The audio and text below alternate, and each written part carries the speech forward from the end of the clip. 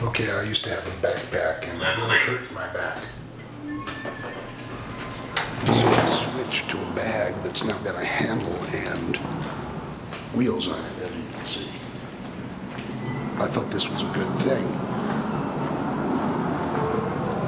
Because it is saving wear and tear on my back. But when I get to the eighth floor of the Seattle Public Library, well, you tell me what movie this reminds you of.